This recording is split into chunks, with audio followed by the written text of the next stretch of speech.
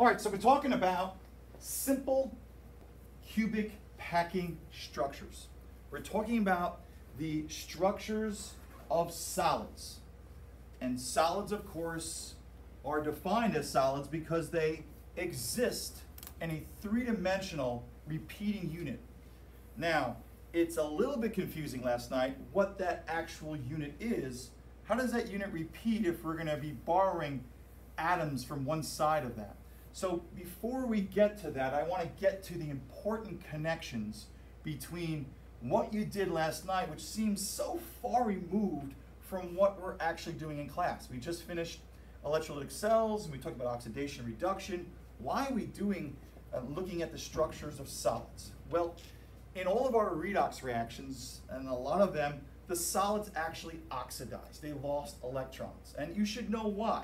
Okay? You know that the big atoms, okay, exist farther away, at least their electrons exist farther away than their protons. In a nucleus, you have the protons, and then we have these outermost electrons. Well, big atoms, because of Coulomb's law, this distance or radius between the electron and that proton are so far away, so far away, as the distance increases based on Coulomb's law, the force of attraction decreases, and it's easier for these electrons to be lost. Losing electrons, oxidation. Very important that we understand that. Now we know the elements that love to reduce, okay, gain electrons. They're the smaller atoms. Now again, why do we care about the structure? Well, the structure by which these atoms exist can affect their ability to lose electrons, okay? Especially if you mix other atoms or different elements in that structure called alloys, which you'll be doing tonight for homework or this weekend. Now, let's take a review back through things we've learned already. So let's take a look back on the periodic table, okay? And let's take a look here. Um, and let's take a look right here, periodic table. Now, in this periodic table, I drew a little staircase. And this staircase sometimes is really emboldened on a lot of periodic tables. What's important, if you remember uh, the things that we've learned over the summer or another class, is that this is kind of like the divider between the big atoms and the small. We learned that as we go across a row in the same energy level, you're adding more protons. As you add more protons, due to Coulomb's law, you're increasing the charge number, electrons get attracted more and more and more and more. And therefore, the elements that attract electrons and thus are smaller and thus are best at reducing are up to the right. The elements as they get bigger and have a low number of protons in their energy level, we'll talk more about this in another part of the course, electrons are bigger. So over to the left and down, you're bigger. Over to the right and up, you're smaller. But where is that dividing line? Well, these are called metalloids, and they have properties of both. And we'll talk more about them. But essentially, this is the dividing line. Boron, silicon, arsenic, tellurium, germanium, antimony, they're kind of in between. So anything above them are the smallest atoms, are good at reducing. Hey, look at oxygen. That's our best oxidizing agent, right? Great at pulling electrons from things, itself great at reducing or getting reduced. And then these are the big atoms. Notice that most of the periodic table are metals. Now, as I said many times, all right, if I have an electrolytic cell, okay, I can force metals that are not good at oxidizing to do that. But I can really never force uh, naturally a metal to become negatively charged. You'll never find, you'll never find a metal with a negative oxidation state. So let's take a look. These are the charges that these atoms love to become. Love to become. They don't tell atoms are neutral. I say atom, you say neutral. That means the proton number 21 equals the electron number. Right? This is the mass number, it's the protons and neutrons. We'll learn why it's got a decimal place. But right now, in this periodic table that I allow you to use, it tells you what charge these elements love to become. Well, because all of these guys are what? South of the Mason-Dixon line, they're south of being big, uh, of being small, that means these are all big atoms. they're all metals. And you can't find me a metal that becomes negatively charged. We've dealt with copper. We saw zinc. These guys, you can't find. Now you may say, Mr. Grodski, I see one way over here that's negative. Hydrogen, is actually a non-metal. They put it over there because of one valence. So, with that in mind, metals lose electrons. Their ability, though, can be hampered, okay, or not by their, their, their crystalline structure. So it's important for us to look, start looking at the atoms and their, their structures. Why? Because there's a big part of chemistry called metallurgy where they mix different atoms into different uh, crystal arrangements to change the properties of metals. They're called alloys. It's a big part of chemistry where they will mix a little bit of one metal into another and that changes the properties of the metal in ways that could stop oxidation or improve them. Case in point, I'm sure everyone now has a stainless steel appliance in their house, or has seen one or been around one. What is stainless steel? Well, steel is nothing more than iron and a little bit of carbon, but more importantly, stainless steel is a type of iron that doesn't rust very easily. That's why it's stainless. Stainless just means it doesn't make any rust markings. Well, why? It's because stainless steel is made of iron. Now, this is a salt, but it's made of iron with chromium atoms intertwined in its crystalline structure. Now, the chromium has to fit in the in the in the structure of the um, a crystal to fit, but it changes the properties that we'll learn of iron so that it doesn't easily oxidize with oxygen, and therefore it stays stainless or unreactive. And therefore you can shine it and it's not going to rust. Now, it doesn't always work over time. It can lose that chromium layer or that chromium. But the point is, we can change the properties. We can affect.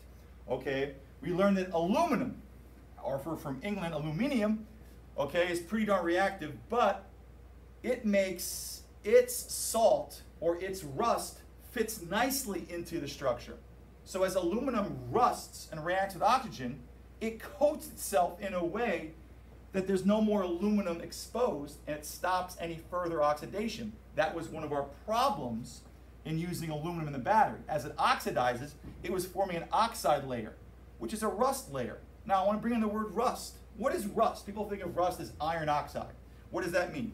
That means that we had good old iron, it was a metal, it was zero, okay? Exposed to what? Who, who, who, exposed to oxygen, okay, who's small, this guy grabbed the electrons, became negative 2. Iron became plus 2 or plus 3, and they stuck together to form a new compound called iron 2 oxide or iron 3 oxide, depending upon the charge of the iron. That's rust. We think of only rusted, but you know what this is? It's a salt. A salt is when you have a positive ion attracting a negative ion, and they always make what? Solid crystal arrangements because positive negative ions based on Coulomb's law attract so greatly they're going to stick and make a crystal. But think about sodium chloride. What's sodium chloride? Isn't it Na plus attract to Cl negative? Here's an example of what the salt structure or the simple cubic structure of salt could be. Table salt, sodium and chlorine, and it repeats. But really what's sodium chloride, table salt? Well, it's Na plus 1. How'd that get there? Pure solid sodium would have had to lose its electrons, not to oxygen, but to another small element, chlorine. Chlorine took the electron from sodium. It's the rust of sodium when exposed to chlorine. All ionic compounds, positive and negative ions, are solids unless they're dissolved, if they're soluble, okay, are solids at room temperature. You need a tremendous amount of heat to separate them. But what are all ionic compounds? Some metal that lost electrons to some non-metal who's good at gaining them and made charges, and they stick together in a crystal. So there's all different forms of rust. We eat rust. Sodium chloride, table salt, is an example of a form of rust. We have a fancy word for them. We call them ores. Okay? What's an ore? Well, iron ore. We get iron ore out of the ground. What's iron ore? Well, essentially iron ore is iron that has already reacted, gave up its electrons to usually oxygen because there's a lot of that in our environment, and so we have iron oxides. We, we can't dig out pure iron, but we need pure iron to build our car, build our cars and our infrastructure, our, our bridges and everything else. So what do they do with it? They smelt it. They do electrolysis they force electrons back on it to make the pure metal. we purify it. Same thing with aluminum. We get aluminum ore. What's aluminum ore? Hey, it's aluminum It's what charge? Aluminum oxide. And electrolysis, we make the pure aluminum. So the ores that we get out of the ground are the salts or the what? Rusted forms of the metals after they've oxidized. Okay?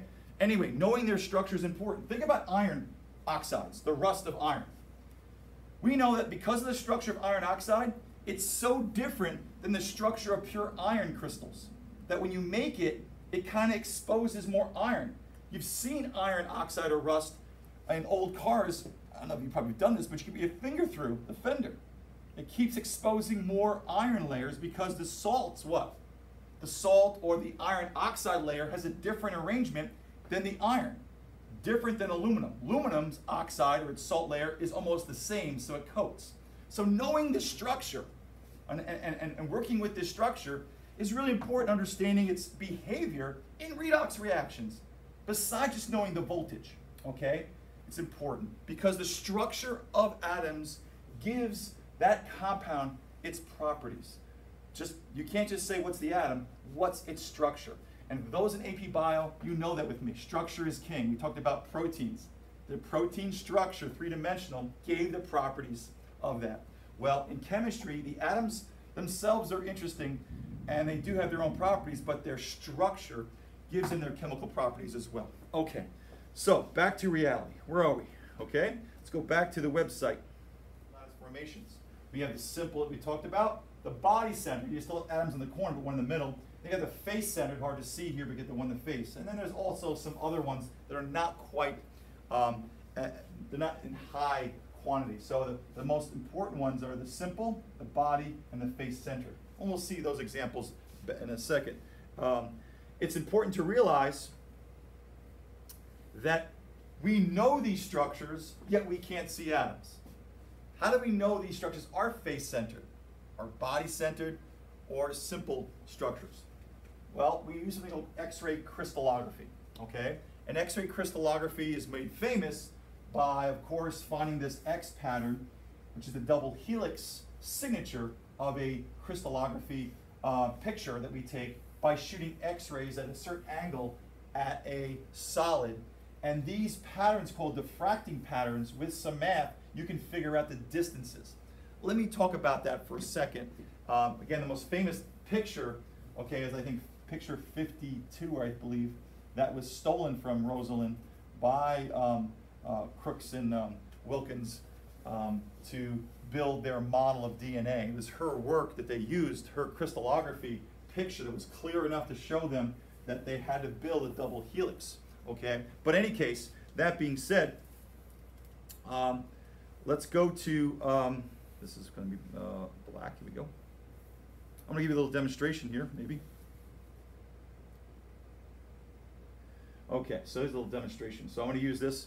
All right, so what I have here is I have a green laser, okay, laser pointer, and I'm going to point it through two slits, okay? And we're to talk more about this when we get to electromagnetism and, and um, um, light in this course. But more importantly, here's the demo. I have a, a, a diffracting gradient. Basically, I have something with two slits, okay? It's kind of like if I had water, and I'm going to push the water through these openings. Well, I have two openings in that, um, that little card there that I'm going to push uh, light through. Now, of course, what we know what's going to happen is we're going to make some waves happen.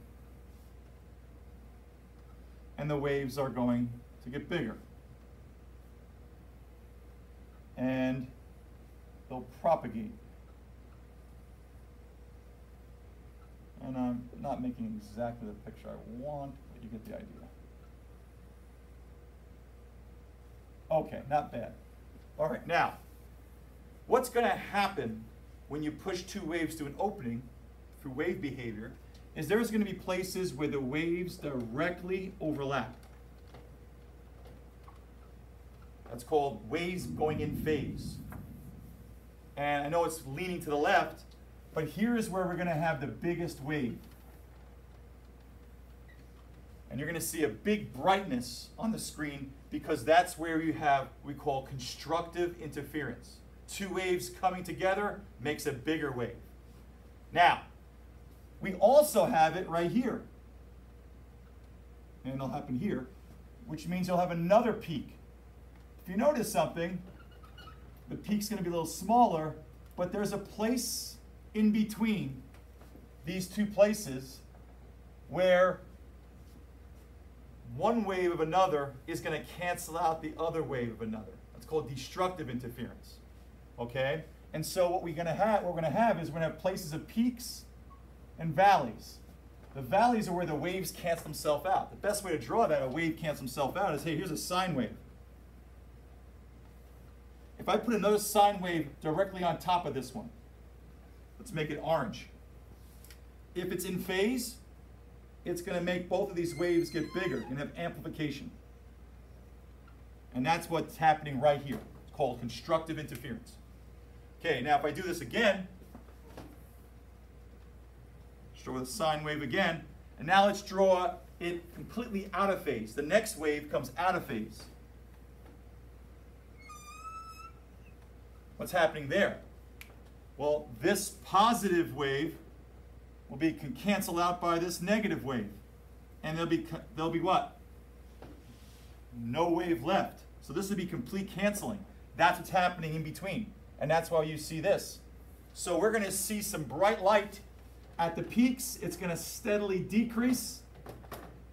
And the distance between these dots, these bright lines,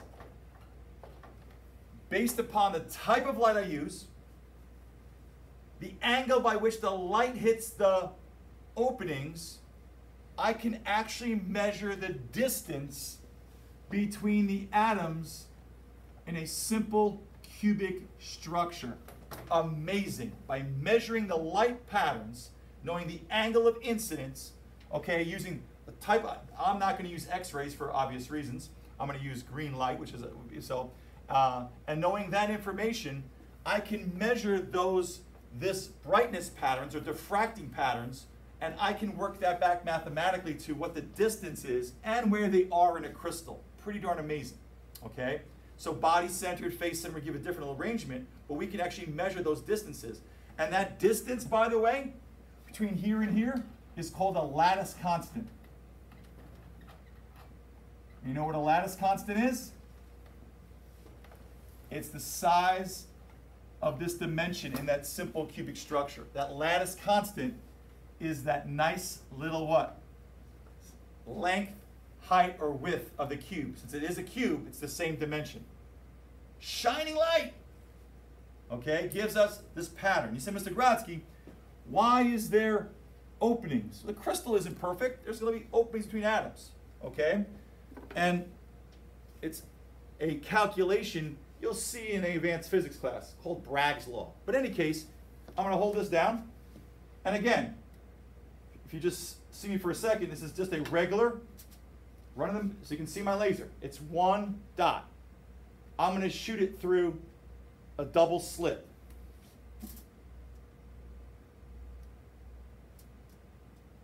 And you can see the, the, the, the patterns. It's, you see that dot in the middle? It's brightest. Then the ones to the right get dimmer, dimmer until it disappears. It's actually Heisenberg's uncertainty principle. But the spaces between the dots is where there's destructive interference. If we measure, if we measure the distances between those dots, using the light and the angle I'm hitting it, I can actually work back to the distances between the slits. Same thing here. That's the cool part. All right, so that's how they work the mathematics to get these structures. Let's go get some calculations done because that's what got a lot of people last night. So let's go to um, the first calculation, which is um, this, and I'm going to clear this out with my pen of Apple. Um,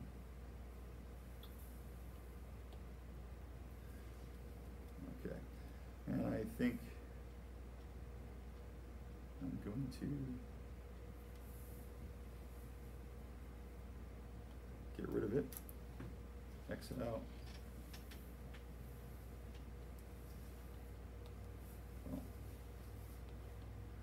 Christmas in July.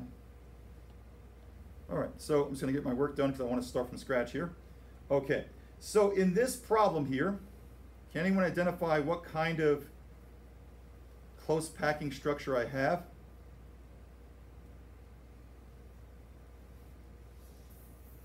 Not all at once. It's crazy. Well, we've got inside the body, we've got one atom. This is a body centered. Okay? So we'll write that.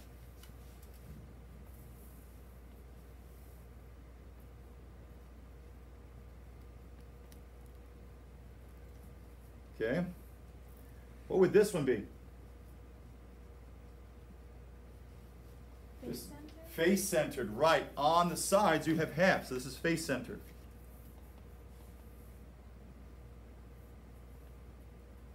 And now we get a different pattern of dots.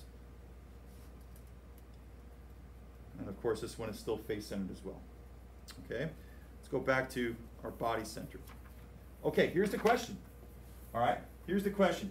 Calculate the density of chromium by using the crystal lattice structure. It was determined by X-ray crystallography the lattice constant is 291 picometers. Okay, the distance between the light patterns represents what? So what is the crystal lattice? What is the, this is right here. This distance is the lattice constant.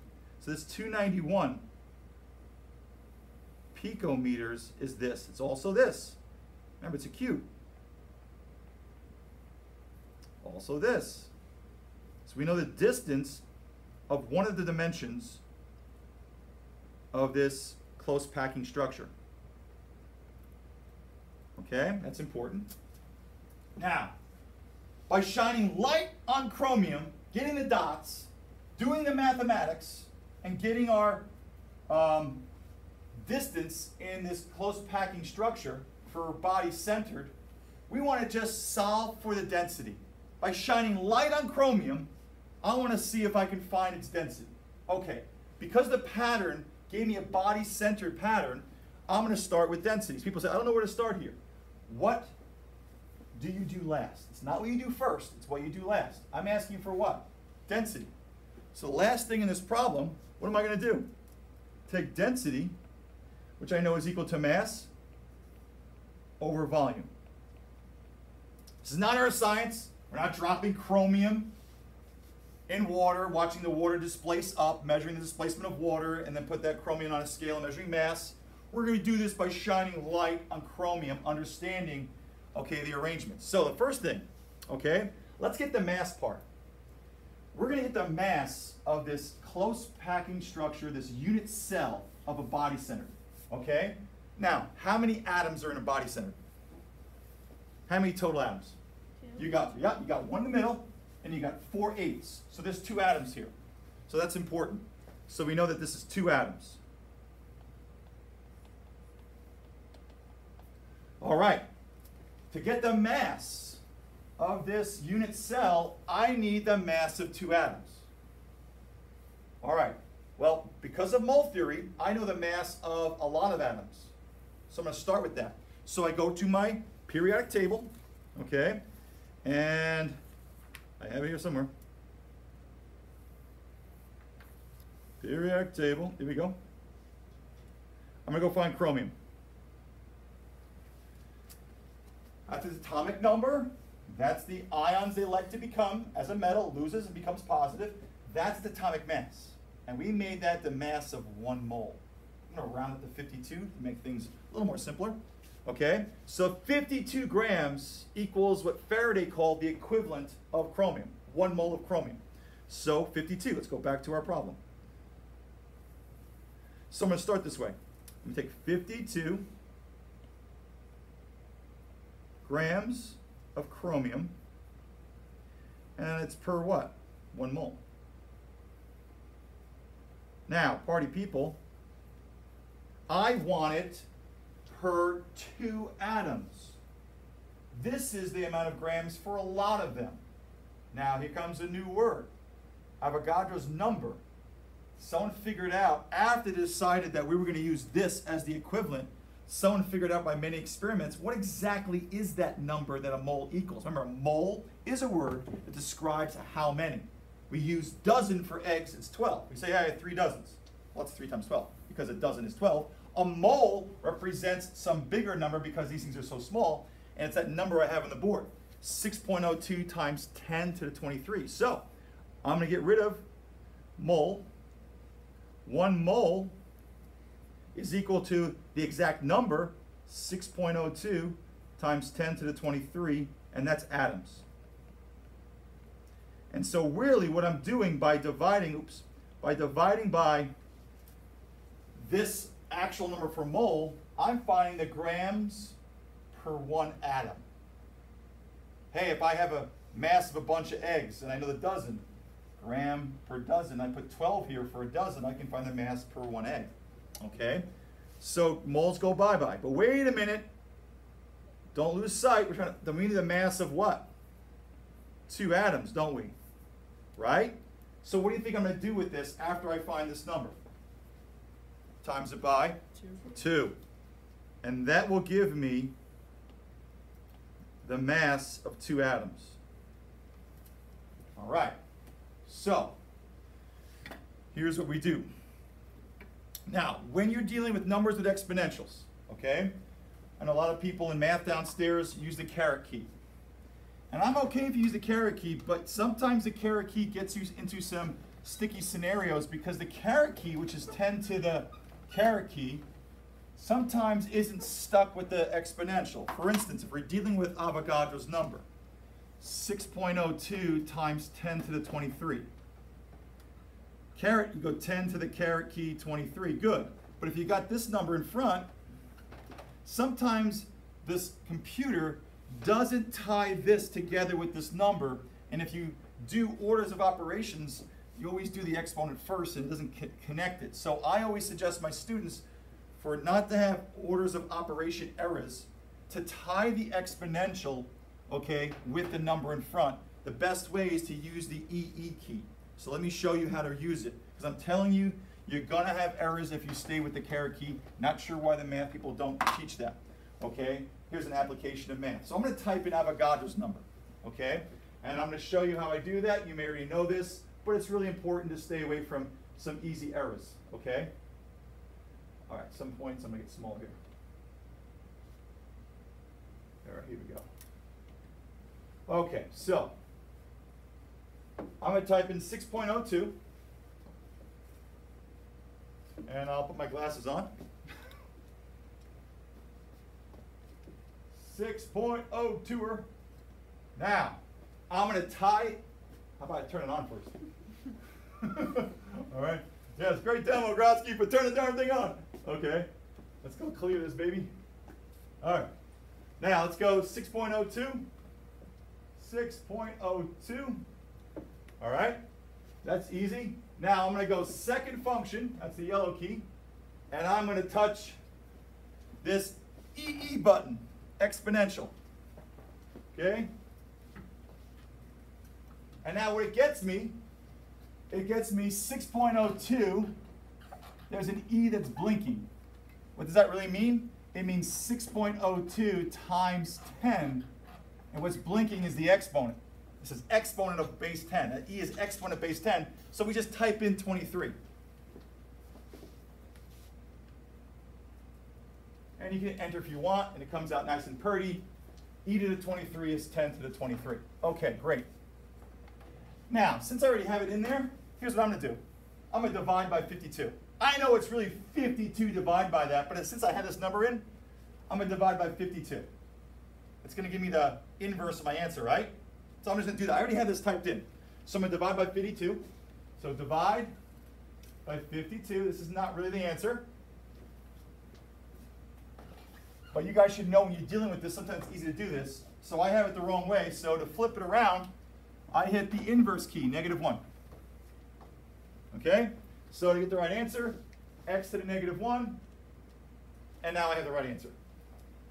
And so that is 8.64 times 10 to the negative 23. Okay? And does that make sense? What do, I, what do I solve for? Grams per atom. That's a tiny number. It's going to be tiny. We have the mass of one atom. Okay? That's tiny. It's extremely tiny, but what do we need? So I got times it by 2, don't forget. Times 2. I did for the other class, but they, they made sure I get it right. All right? So, times 2, so my answer, party people, is I get the mass of two atoms to be, I'm going red now, okay, is 1.73 times 10, the E is exponent, base 10, negative 22, and that's grams. All right. That's not too difficult. We divide by Avogadro's number to get it per. That's an AP skill right there. Okay? Now we need the volume. Well, the crystallography, actually, by the Bragg's law of math that we talked about, gets me this um, dimension. Well, what's volume? Length times width times height. Careful, careful, careful. If you take these picometers and you cube them, you're going to get picometers, picometers cubed. And that's a hard conversion back into what we want. We want this to be centimeters cubed. Centimeters cubed. All right, so I suggest that we convert to centimeters and then we cube it, okay? So watch how I do this. Now, first of all, what's a picometer? Well, one picometer is equal to 1 times 10 to the negative 12 meters.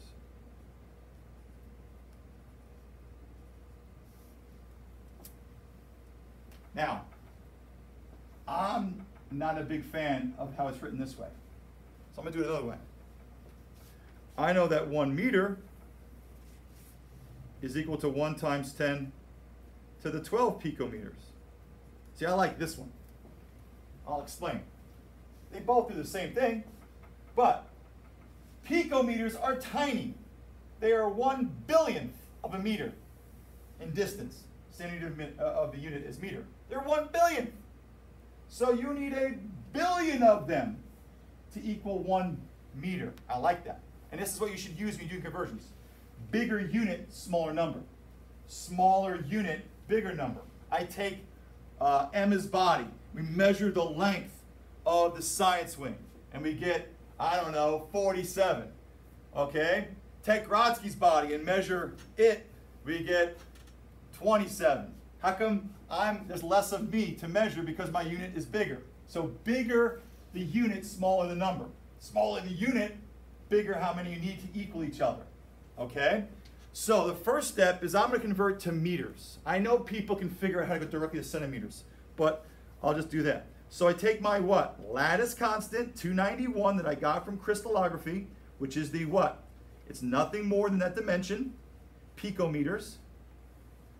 I want to get rid of picometers, so where do they go? The bottom.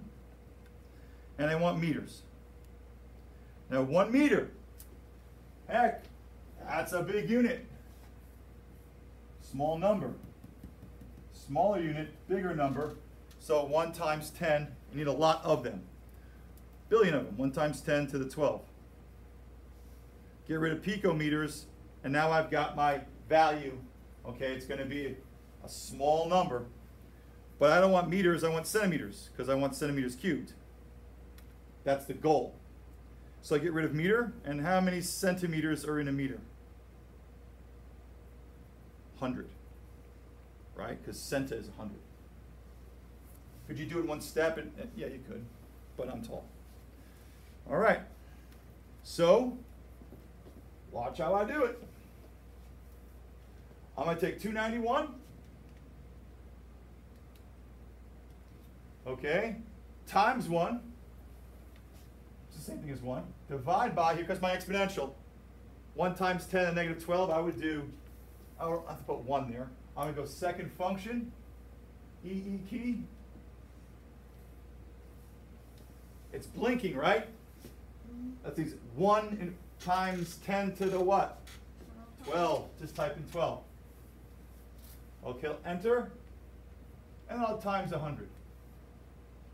And lo and behold, or high and behold, okay, we get the dimension of the simple unit cell of that body-centered uh, cubic structure to be 2.91 times 10 to the negative 8 centimeters. That's the lattice constant in centimeters. And since we're trying to make a volume in centimeters cubed, and by the way, what's a centimeter cubed? A centimeter by a centimeter by a centimeter, it's an awful cube that I just drew. But if I have a centimeter by centimeter by centimeter, one milliliter fits in there. So a centimeter cubed is a milliliter. Okay, almost done. So take your calculator. Since we're going to do what? Length times width times height to get our volume, all we're going to do is cube this. So I'm going to go to my handy dandy calculator. I'm going to go to math. Okay? And I'm going to use the third. That's a cube. Hit enter. Answer cubed, 2.46. 2.46 to Christmas. 2.46 times 10 to the negative 23. And what's the unit? Centimeters cubed. And now, party people, I can now solve for the density without dropping in water, without measuring anything other than using light. Pretty darn cool. Now, I've got this number in my calculator. Why would I erase to put this one and do this one? I'm going to take this number, divide by that, and do what? Hit the inverse key. So I'm going to take this number. I know it's the right answer, but I'm going to divide by 1.73. So divide by 1.73. Okay, times 10, which again, exponential, second function, EE. Okay, to the negative 22, so negative 22. And I get that ugly answer, but that's not my answer because I was just being lazy. I didn't want to cancel it off, so I'm going to hit the x to the negative 1 to, to flip it. x to the negative 1 key, enter, and booyah! I get a number that I can like I can grab a hold of. All these other numbers are just too small, and so my density, duh, is equal to 7.02 what? Grams per centimeter cubed. And hey, does that make any sense? Well, party people, if you go to your Regents reference tables, okay, chromium is atomic number 24. We have a table SSS. You go to atomic number 24 and you find chromium, and it gives you the density to be 7.15. So a very comparable number. Okay? And the units they're using for density, grams per what? Centimeter cubed. All right? So we got a comparable number. By the way, this might be a different set of conditions. All right? Take a break.